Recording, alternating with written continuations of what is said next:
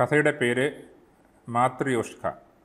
ആട്ടോക്കാരന്റെ ഭാര്യ സുന്ദരിയാണെന്ന് പാൽക്കാരൻ സുഗുണനാണ് പറഞ്ഞത്.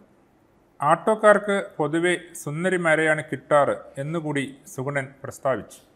പ്രാപ്പിടിയൻ എന്ന വട്ടപ്പേരുള്ള പുത്തൻ വീട്ടിൽ പ്രദീപനാണ് ഏറ്റവും ഭംഗിയുള്ള ഭാര്യയുടെ ഉടയോൻ എന്നുകൂടി അയാൾ ഉരിയാടി. ഇതൊക്കെ ഇവിടെ പറയാൻ കാരണം പ്രദീപന്റെ മകൾ പാർവതി വയസ്സറിയിച്ചു എന്നതത്രേ. ഉടുപ്പിയിൽ നിന്നും ഗോവിന്ദ ഹെബ്ബാരയെ കൊണ്ടുവന്ന് തെരണ്ടു കല്യാണം നടത്തിയിട്ട് നാലാം നാൾ ഇരുപത്തെട്ടാവണതേ ഉള്ളൂ വിളുമ്പ് കീറാത്തതും ഏങ്കോണിപ്പില്ലാത്തതുമായ വാഴയില മുറിയൽ തുരുമ്പില്ലാത്ത ചാണകമുരുട്ടി ഗണപതി ഉണ്ടാക്കൽ വിളക്കിൽ അഞ്ചു തിരിയിടൽ കിണ്ടി വടക്കു ദർശനമായി വയ്ക്കൽ കുബേരന്റെ നിര അങ്ങോട്ടാണത്രേ. എന്നിങ്ങനെ പടുക്കയിടുന്നതിലെ സൂക്ഷ്മത കണ്ട് പ്രദീപനോട് കൂടെ പോരുന്നോ എന്ന് ഹെബ്ബാര ചോദിച്ചതായാണ് ശ്രുതി. ഐൻസ്റ്റീന്റെ ഐക്യവും അശ്വമേധക്കാരന്റെ വിവരവും ഒത്തിണങ്ങിയ ഓട്ടോക്കാരനാണ് താനെന്ന കാര്യത്തിൽ അയാൾക്ക് സംശയം ഒന്നും ഇല്ല. അതിന്റേതായ അഹങ്കാരം ഉണ്ട് താനും. ഇതിവിടെ പറയാൻ കാരണം ചുമ്മാതല്ല ലോകസുന്ദരിയെ ദൈവം പുള്ളിക്കാരന് പെണ്ടാട്ടയായി സമ്മാനിച്ചതെന്ന് മെനകെട്ട ഭാര്യമാരുള്ള വായനക്കാരെ അറിയിക്കുക എന്നതത്രേ. അർഹതപ്പെട്ടവന് അംഗീകാരങ്ങൾ വാരിക്കോരി കൊടുക്കുന്ന കാര്യത്തിൽ ദൈവത്തിന് പിശുക്കൊന്നുമില്ല. നെകളിപ്പ് കാണിച്ചാൽ പണി കൊടുക്കാനും മടിക്കില്ല. അങ്ങനെയാണ് ഭാര്യയേക്കാൾ സുന്ദരിയായ മകളെ കൊടുത്തു കളഞ്ഞത്. ഋഷിപ്രോക്തമായ സംസ്കാരത്തിൽ നിന്നും കടുകിട വ്യതിചലിക്കാതെ ജീവിക്കുന്ന ഏക ഭാരതീയൻ താനെന്ന കാര്യത്തിൽ പാറ പോലെ വിശ്വസിക്കുന്ന പ്രദീപൻ ബ്രഹ്മമുഹൂർത്തത്തിൽ ഛാൽ ഉദയത്തിന് ഒരു മണിക്കൂറും മുപ്പത്താറ് മിനിറ്റ് മുമ്പേ എണീറ്റ് ഓരോ ദിവസത്തെയും ഉദയം പഞ്ചാംഗം നോക്കി കണ്ടുപിടിക്കും. ട്യൂബ് ലൈറ്റിന്റെ വെളിച്ചത്തിൽ ഓട്ടോ കഴുകും. പക്ഷേ ഒൻപത് മുപ്പത് വരെയുള്ള പാർവതിയാമം കഴിഞ്ഞ് ഓട്ടം പോകും.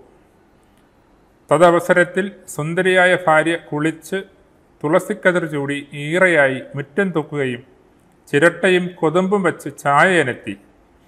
ഗ്യാസ് അടുപ്പില്ലാത്തത് കൊണ്ടല്ല ടിയാന് കൊടുക്കുകയും വേണം. പുലർച്ചെ മൂന്ന് മുപ്പത് മുതൽ സൂര്യോദയം വരെ സരസ്വതി യാമമാണല്ലോ. അതിനുള്ളിൽ വായിച്ചു തീരാൻ പാകത്തിന് പത്രമിടാത്തതിന് പത്രക്കാരനുമായി സ്ഥിരം ചുരുളിയാണ്. അനന്തരം സൂര്യ നമസ്കാരം ചെയ്ത ശേഷം കുളിക്കും.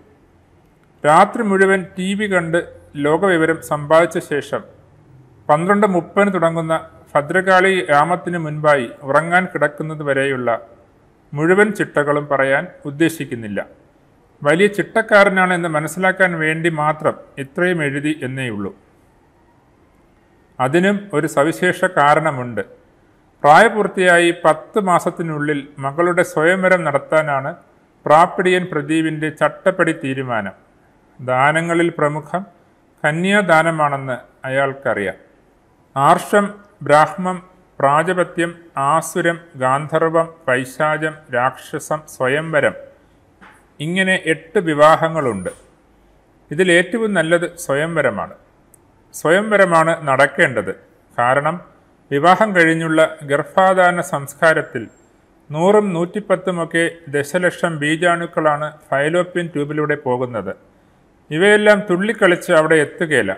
കുറേ വഴിയിൽ പോകും. അവിടെ എത്തുന്നവ മാല്യമണിയാൻ കാത്തു നിൽക്കുമ്പോൾ അണ്ടം അതിൽ ഒന്നിനെ വർണമാല്യം അണിയിക്കുകയാണ് അതിന്റെ സങ്കല്പമാണ് സ്വയംവരം.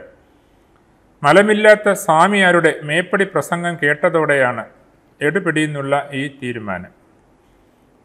സ്വയംവരത്തിൽ പങ്കെടുക്കാൻ പാൽക്കാരൻ സുഗുണന് പൂതി തോന്നാതിരുന്നില്ല എങ്കിലും പ്രായത്തെ മാനിച്ച് തരത്തിന് കളിക്കുന്നതാണ് നല്ലതെന്ന് ഉറപ്പിച്ചു.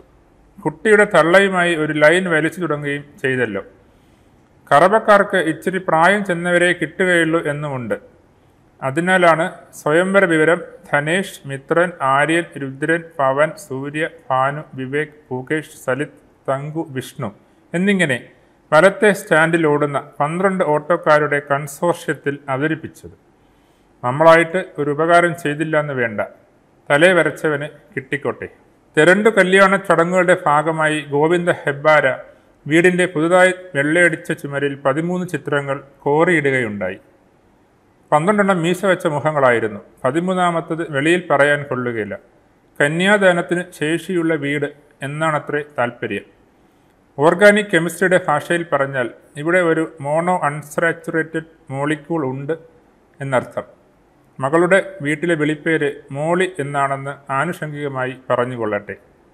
ഹെബ്ബാര ആവാഹിച്ചു വരുത്തിയ പോലെ പന്ത്രണ്ട് ആട്ടോക്കാരും സ്വയംവരത്തിനെത്തി മറ്റാരും എത്തിയതുമില്ല.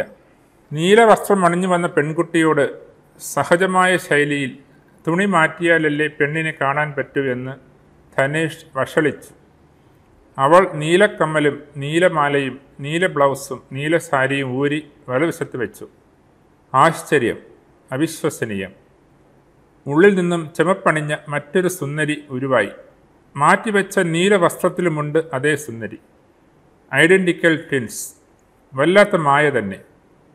വഷളത്തരം അത്ഭുതവും ഭയവും കൂടിച്ചേർന്ന സംഭ്രമത്തിലേക്ക് വഴിമാറുന്നതിനിടയിൽ മിത്രൻ ചെമന്ന വസ്ത്രക്കാരിയോട് ഇതേ ആവശ്യം ഉന്നയിച്ചു. അവൾ ചെമന്ന കമ്മലും ചെമന്ന മാലയും ചെമന്ന ബ്ലൗസും ചെമന്ന സാരിയും ഊരി മിത്രന് അഭിമുഖമായി വെച്ചു. അദൃശ്യ മാന്ത്രികന്റെ വെള്ളി വെളിച്ചത്തിനിടയിൽ ഒരു സുന്ദരി കൂടി സൃഷ്ടിക്കപ്പെട്ടു. ഉള്ളിൽ നിന്നും ഉരുവായത് ചാര നിറമാറുന്ന രൂപമായിരുന്നു. തങ്ങൾ ചോദിക്കുന്നതാണോ അതോ ആരോ തങ്ങളെ കൊണ്ട് പറയിക്കുന്നതാണോ എന്ന് പുരുഷക്കൾക്ക് തിരിയും മുമ്പ് ഓരോരുത്തരും ചുണ്ടുകൾ അനക്കി. കുങ്കുമം ധവളം മെറൂൺ കറുപ്പ് പിങ്ക് കാവി നിറങ്ങളിൽ നവതരുണിമാർ ധനേഷ് മുതൽ പൂകേഷ് വരെയുള്ളവർക്ക് അഭിമുഖമായി നിന്നു. ജലം പോലെ നിറമില്ലാത്തവളെയാണ് സ്ഥലത്തിന് കിട്ടിയത്. തങ്കുവിന് തങ്ക നിറമാർന്നവൾ തന്നെ. വിഷ്ണുവിന് തുളസിയുടെ പച്ചയും. എത്ര ആണുണ്ടോ അത്രയും പെണ്ണുമുള്ള സ്ഥിതിക്ക് വില്ലൊടിക്കൽ മീനിന്റെ കണ്ണുകലക്കൽ പി എസ് സി ടെസ്റ്റ് പുരുഷധനം സ്ത്രീധനം ഇത്യാദി ഏടാകുടങ്ങളൊന്നുമില്ലാതെ മാംഗല്യം മംഗളമായി നടന്നു. ഇരുപത്തൊന്ന് ദിവസത്തെ ചട്ടപ്പടി ഹണിമൂണിന് ശേഷം കവലയുടെ വലതുവശത്തെ പതായയ്ക്ക് കീഴിൽ ദോദശ ഉഗ്ര ശ്രവസ്രുകൾ ഒന്നിച്ചു. All have happy families are alike each unhappy family is unhappy in its own way എന്നാണല്ലോ. അസന്തുഷ്ടിയുടെ തനതു കഥകൾ ഓരോരുത്തർക്കും പറയാനുണ്ടായിരുന്നു. പെണ്ടാട്ടിക്ക് മുഖങ്ങൾ തിരിച്ചറിയാൻ കഴിവില്ലാത്തതാണ് ധനേഷിന്റെ പ്രശ്നം. തൊട്ടയൽവക്കക്കാരൻ പാലുകാച്ചി വിളിച്ചു വന്നിട്ട് ആരാ എന്താ? എന്നൊക്കെ ചോദിച്ചു കളഞ്ഞു. അവരുടെ വീട്ടിൽ വിരുന്നൂണിന് പോയി മൂക്കുമുട്ടെ കയറ്റിയതിന്റെ പിറ്റേ ദിവസമായിരുന്നു അത്. തൊലി വെളുപ്പുള്ളതിന്റെ ജാടയായിരിക്കുമെന്നേ അവർ കരുതു. ഓരോ ആളെയും അവൾ ആദ്യം പരിചയപ്പെട്ട സ്ഥലത്ത് വച്ച് അതേ ഡ്രസ്സിൽ കണ്ടാൽ മാത്രമേ മനസ്സിലാകൂ. പോരാത്തതിന് നാഴികയ്ക്ക് നാൽപ്പത് വട്ടം പൊന്നെ തേനെ പാൽ എന്നൊക്കെ വിളിച്ചുകൊണ്ടിരിക്കണം. മൂന്ന് വർഷങ്ങൾ കഴിഞ്ഞായിരുന്നെങ്കിൽ അയൽക്കാരന്റെ ഭാര്യയോടൊപ്പം അവളുടെ കെട്ടിവന്റെ ഉടുപ്പിട്ട നിലയിൽ തന്നെ കണ്ടാലും ഇവൾക്ക് മനസ്സിലാകില്ലല്ലോ എന്നത് ഒരു ഗുണമായി അയാൾ എടുത്തേനെ. വാമഭാഗം അടിക്കടി കാലിടറി വീണ് കളയുന്നു എന്നതത്രേ മിത്രന്റെ പ്രശ്നം. ഓരോ പ്രാവശ്യം വീഴുമ്പോഴും ഓരോ കഥകൾ ഉണ്ടാക്കും. പൂച്ച വിലങ്ങനെ ചാടി ചേര കാലിൽ ചുറ്റി അമ്മായിയപ്പൻ തോർത്ത് കുടഞ്ഞ് വീഴ്ത്തി എന്നൊക്കെ പറഞ്ഞു കളയും.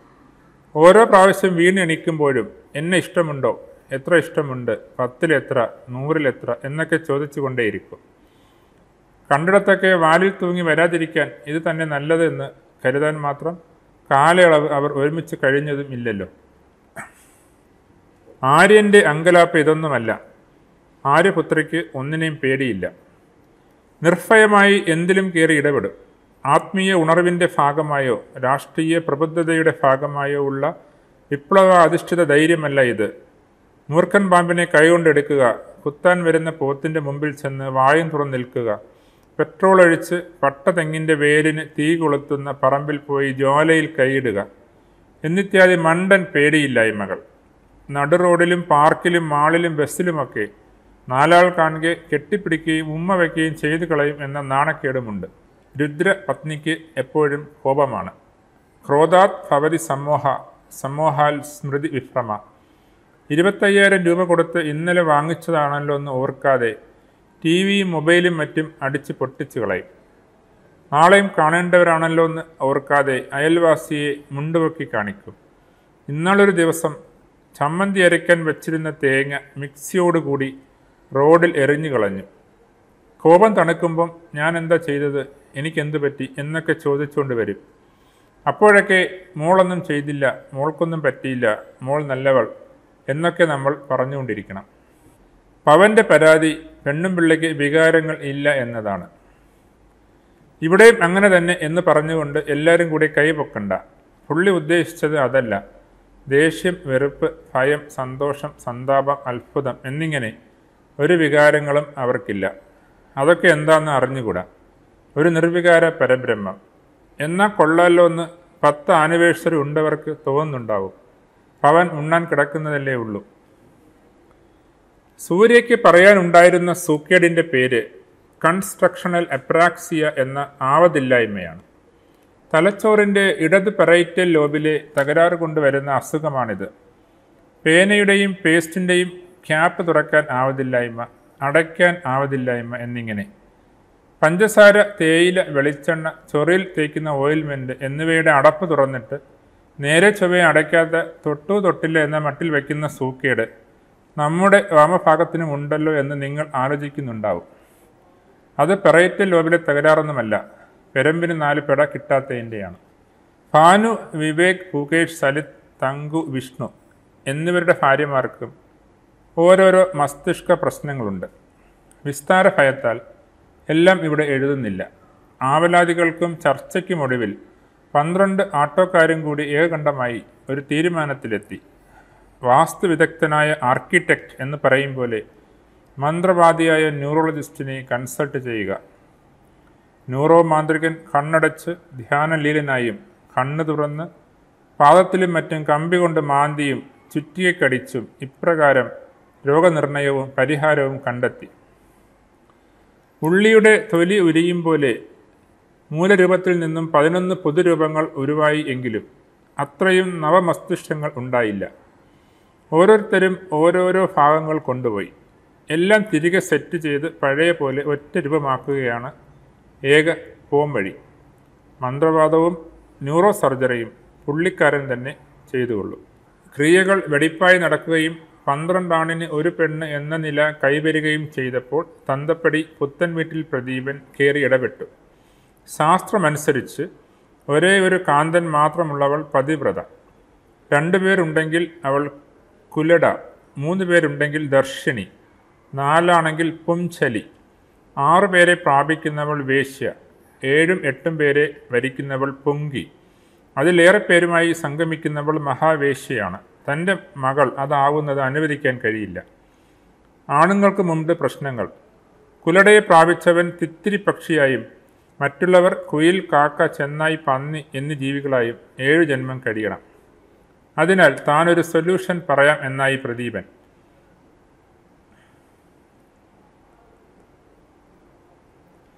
പന്ത്രണ്ട് പേരും മകളോടൊപ്പം ജീവിച്ചോട്ടെ.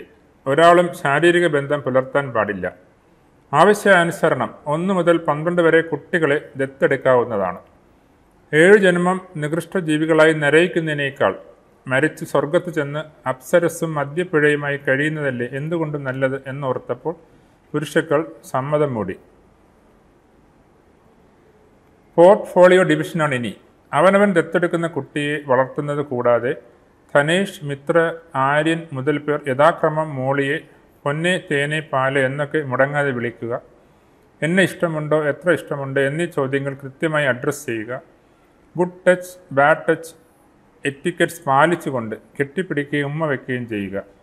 തുടങ്ങിയ കർത്തവ്യങ്ങൾ നിർവഹിച്ച് റെസ്പോൺസിബിൾ ഹസ്ബൻഡായി പുലരേണ്ടതാണ്. പാർവതിക്ക് സന്തോഷം കൊണ്ട് ഇരിക്കാൻ വയ്യ. പന്ത്രണ്ട് പേരുടെ പരിലാലനകൾ പതിവായി പ്രാപ്യമായ പതിവ്രതയുടെ പരമാനന്ദം പറഞ്ഞറിയിക്കാൻ പറ്റുമോ? പിൽക്കാലത്ത് പ്രാപ്പിടിയന്റെ വീട്ടിൽ ദുർവാസാവ് വിരുന്നു വരികയും കാമം സഹിക്കാതെ തന്നെ പ്രണയം നേടുന്നതിലുള്ള പ്രസാദവും ആരിലും അനുരക്ത അല്ലാത്തതിനുള്ള അങ്കലായ്പില്ലായ്മയും ഒത്തുചേർന്ന പാർവതി സമചിത്തതയോടെ അതിഥിയെ പരിചരിക്കുകയും ഉണ്ടായി ആയതിൽ സംപ്രീതനായ മുനി പുള്ളിക്കാരത്തിയെ ഇപ്രകാരം അനുഗ്രഹിച്ചു. ഒന്നിനുള്ളിൽ മറ്റൊന്ന് അതിനുള്ളിൽ വേറൊന്ന് എന്നിങ്ങനെ വയ്ക്കാവുന്ന ഐശ്വര്യദായകമായ കളിപ്പാട്ടമായി മാതൃയോഷ്ക എന്ന പേരിൽ നീ ലോകമെമ്പാടും അറിയപ്പെടും.